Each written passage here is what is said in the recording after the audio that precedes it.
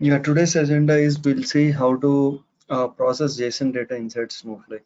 Okay, so we'll uh, uh, we'll ingest uh, JSON data into Snowflake and we'll transform JSON to kind of like CSV, flat. flat. We'll flat the data from JSON to readable format, like to normal rows and columns. Okay, so so we'll create one database uh, for this JSON. Maybe we'll call it like create so somewhere something is again. Again we need one stage uh, to ingest data. Create stage my stage. Okay so what we'll do today we don't require any table under. We just process the data from stage. So we'll read the data from stage transform the data from stage.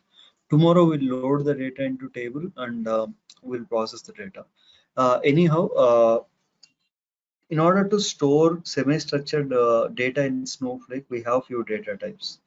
So let me query one of the uh, table which is holding JSON data. So from the sample data, I'm querying one table. Here you can see J customer. So any table starts with uh, letter J, uh, those tables are holding JSON data. So here you can see we have the data like multiple. We got uh, so in this table J customer, how many columns are there? We have only one column.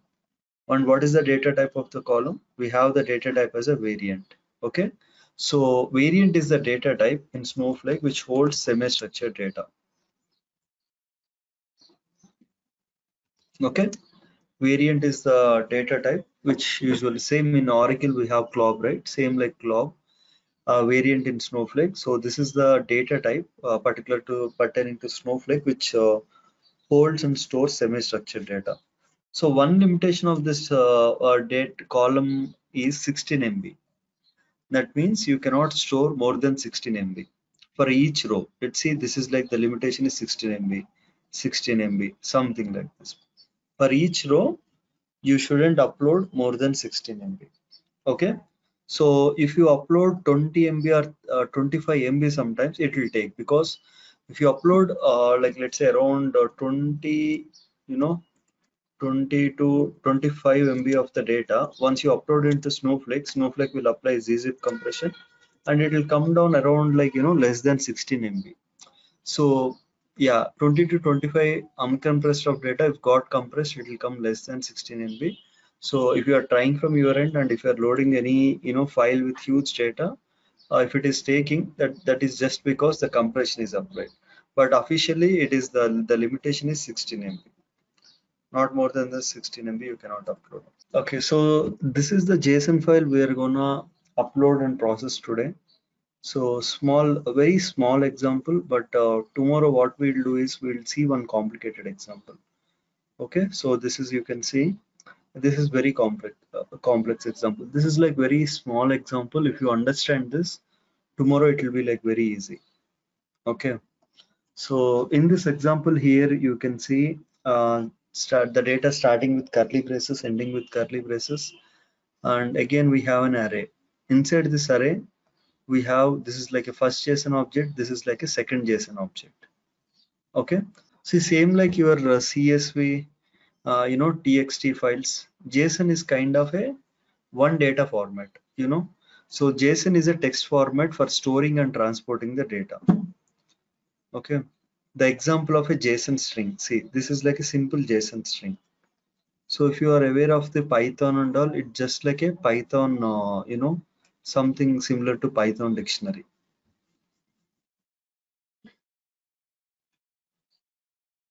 so this is how you will uh, store the data. So see here name john. Quotations quotations curly braces curly braces one json object. So if you want to store number this is how you will store the number. So if you have like range of the data so employees this is just like a tag name. And these are the employee again employee name age city.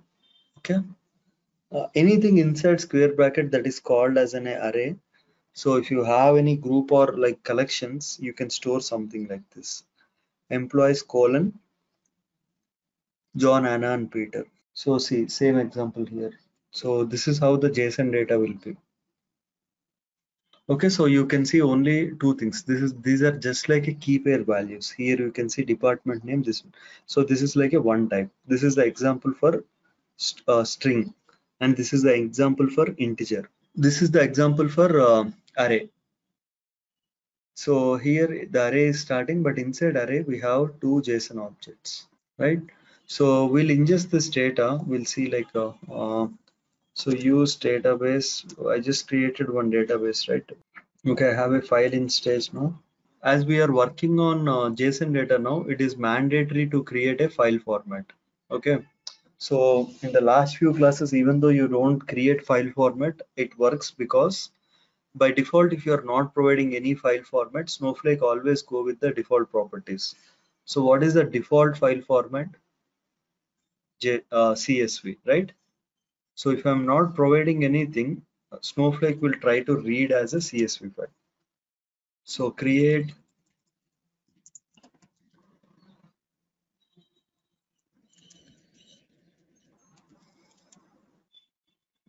So create file format my JSON. I'll simply say type is equal to JSON.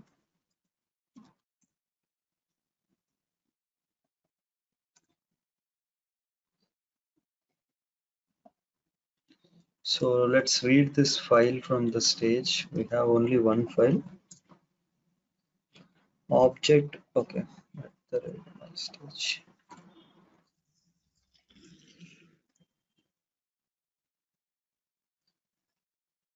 Why we got like multiple rows here? See, 20 rows I got. Uh, we should be getting only one row because the entire file it is just like a one row to me, one or two rows. Right? So in this case what we have to do is we need to give the file format. Okay? See file underscore format my json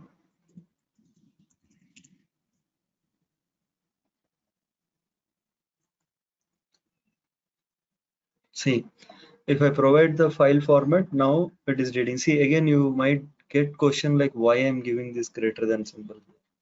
So in the last few classes, uh, data unloading, data loading, file format equal to, never we never use that uh, new notation. So we'll go with this notation only when you are reading the file from the staging environment. Okay. If you are reading the data from staging area, then this is the format use. So select dollar one from at the rate my stage file format. Now I got now I'll be getting only one row.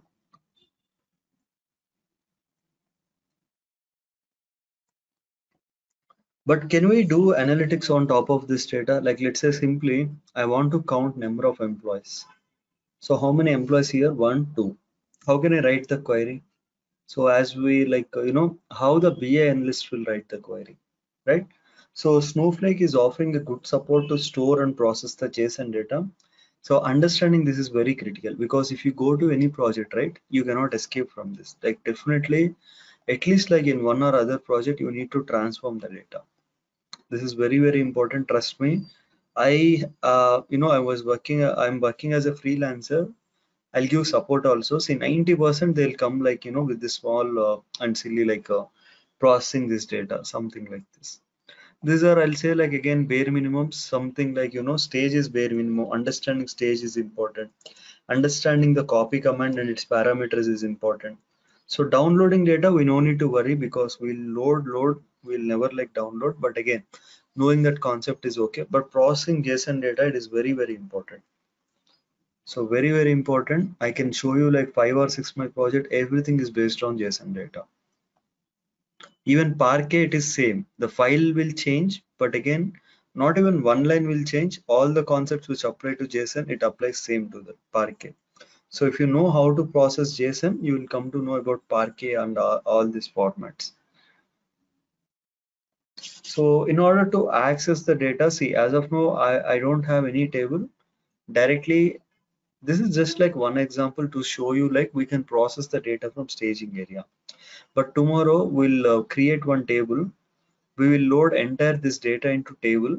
And on top of the table we'll transform the data. We'll transform and we'll insert the data into other table. Okay. Dollar one uh, then we'll get instead of 22 rows we got only one row. You can see this entire file loaded into this one particular row. Okay now our goal is to transform this data. So something from this json format to kind of like a flattened uh, type of data. Okay? Flattened in the sense from uh, json data to normal. Okay? Normal something like our table. Usually we'll see like tables right? So in order to do that like let's go with the select dollar one colon department name okay. Department name. From at the rate my stage so let me take entire this.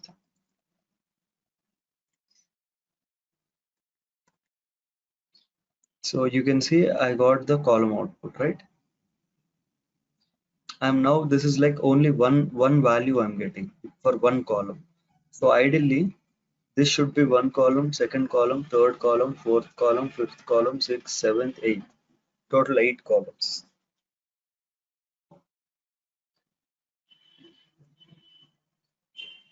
So I got the first column. So one column I got department name. Now in order to get the second department, what I will do is again dollar one I'll copy this department number. And see I got like a two columns.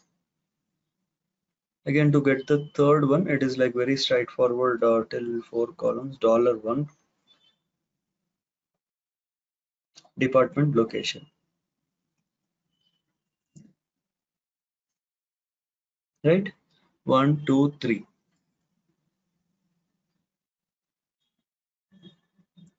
dollar one colon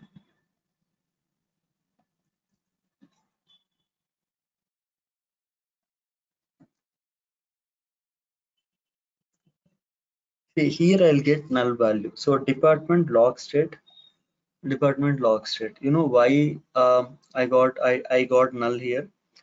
It is always case sensitive. So if you see I removed the capital S, so that's the reason I'm getting error. So when I got started a few years back, I still remember, uh, you know, that day like uh, uh, I passed like more than 50 columns, something like this, and one of the, you know, in one column I missed the capitalization. Then what is the side effect of that? I I'm missing the data, and it took me like five to six hours just to figure it out. Like these columns are case sensitive because at that time no internet, like you know, no questions, no help on Snowflake because the tool is pretty much new.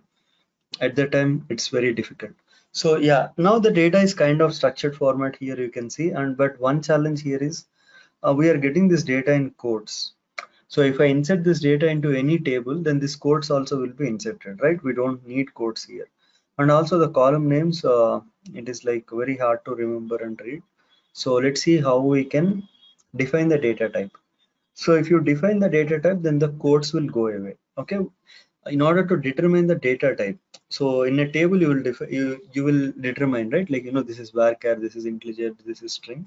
So for this we need to define data type something like this colon colon string. Okay and if i want to alias this column i'll just simply say again department name.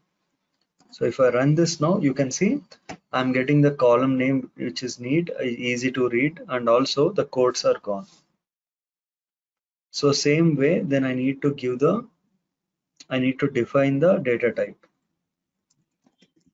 So integer again. So this is like department number.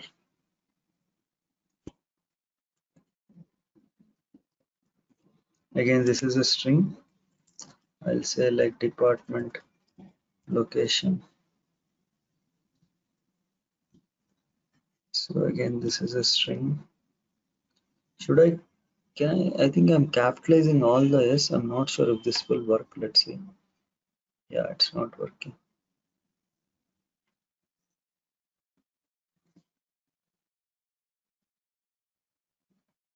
But why I got it for uh,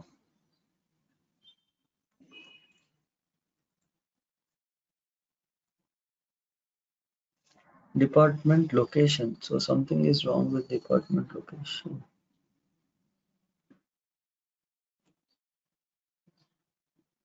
yeah. So see you need to be careful very careful with column names because they don't give any error. Simply like if you if it is wrong you will get nulls as simple as that. So you need to be very careful with that.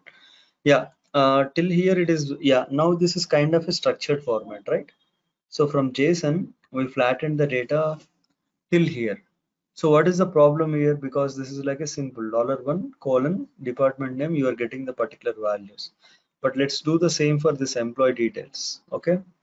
So here again i'll come here at the end comma dollar one colon employee details. What is the output i got? I got json array array as an output right? Square bracket square bracket. Inside that square bracket we have two in individual json uh, json objects 77827394 two employees john and miller. So they both are working uh, for the same department. Because they both are working in the sales department their both department number is 10 they're both both of their location is hyderabad and state. Because these details are common for both of these employees. Okay so till here it is fine. So here is where like the complexity starts so i'll take this copy this code. I'll come back here. I'll paste this over. Now let's sort uh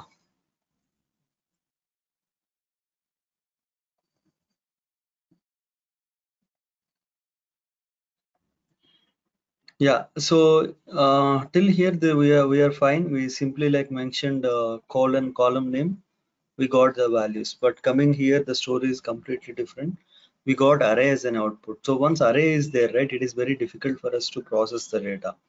So in snowflake we have a small function called lateral flatten function. So that function we need to give in order to process uh, that array. So first let me type the code. Uh, so let's alias this particular stage. I'll alias as a department. So if i alias this as a department and if i run right one problem i'll get is uh, okay i'm not getting any problem. So here like let me uh, add that function now lateral flatten. So this function needs input okay? So what input? I need to give this entire array as an input.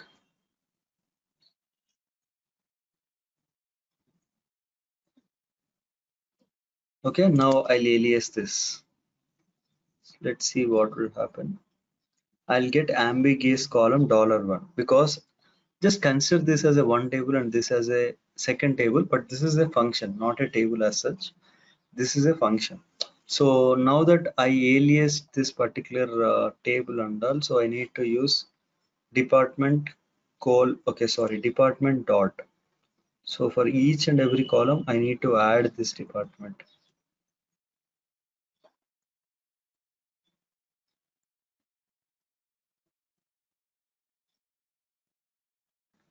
So what is this lateral flatten function? What this will do? So the challenge, uh, you know, processing JSON data is an array. So whenever we have an array that, that will stop us loading the data, then what you have to do? Lateral flatten. So what is the role of this lateral flatten is? Lateral flatten will always take one array as an input. So if I pass this dollar employee details, what will happen? Dollar employment details, what is the output? Array. So I pass this entire array that means this entire array as a till the square bracket was passed as an input to that lateral flatten then lateral flatten what it will do is it will remove the square bracket. First of all it will delete these two square brackets. What is remain these two individual json objects. Okay? And it should give us the output right? Function means it, it should always returns the output. Then what is the output it will return? It will return two individual json objects I'll come to here. Now, how can I access that value? So where, where is the output, right? In order to access the output, we need to like emp because I alias this function, right? emp dot value. So I'll explain what is this value and all. But first, let me run this code. employee value so i will copy this entire code and i'll run it here so what is this value so here array is there array is there and this information is duplicating. So basically like here i have two employees double seven eight two double seven seven three. But here if you see only one right?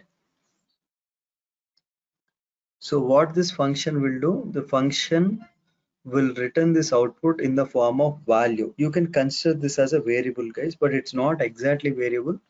But this is for your understanding and all.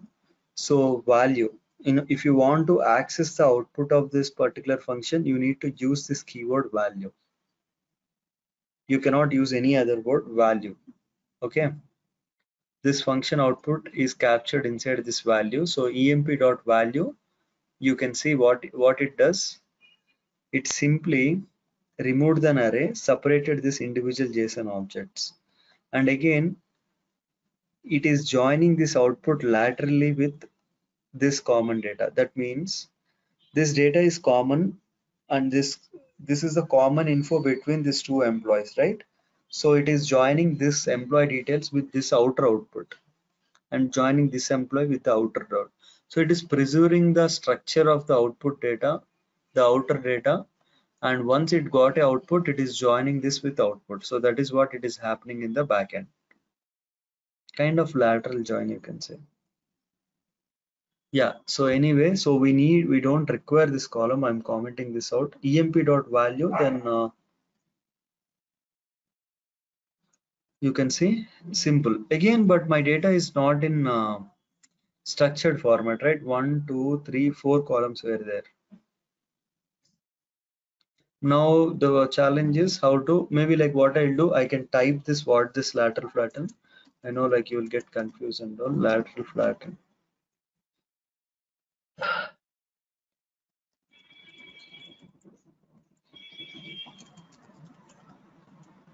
so lateral flatten function separate events into individual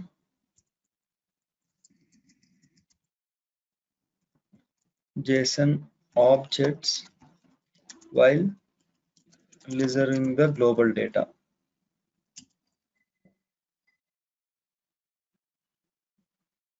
Okay, yeah. Now emp dot value colon employee number.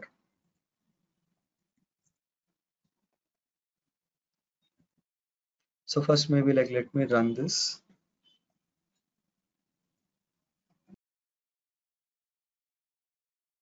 Okay. All right, double seven eight two seven three nine four.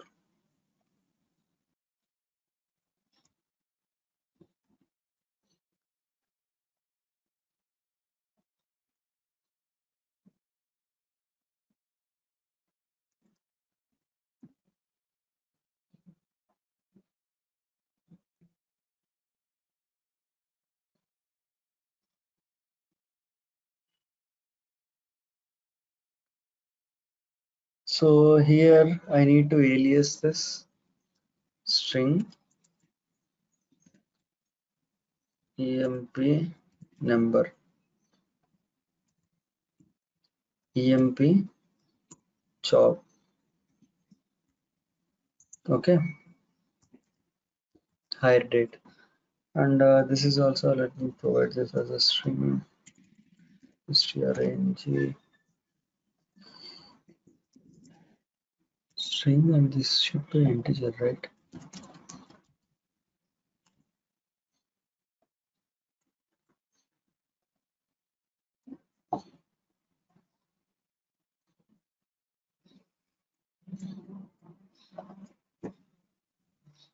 All right we got the data in structured format. Now i can get rid of this emp dot value.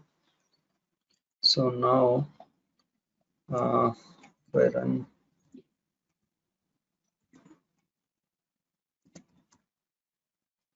see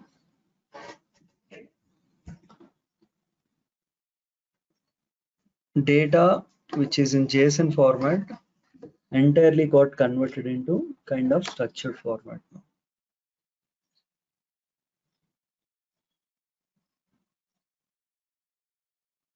right? Uh, for today, yeah, this is what uh, it is. Very small example.